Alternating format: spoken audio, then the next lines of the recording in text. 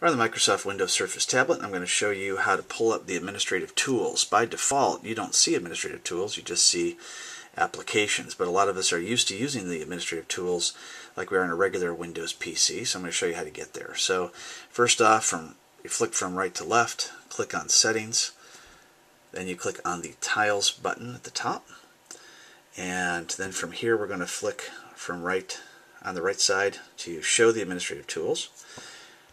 Click back on the screen.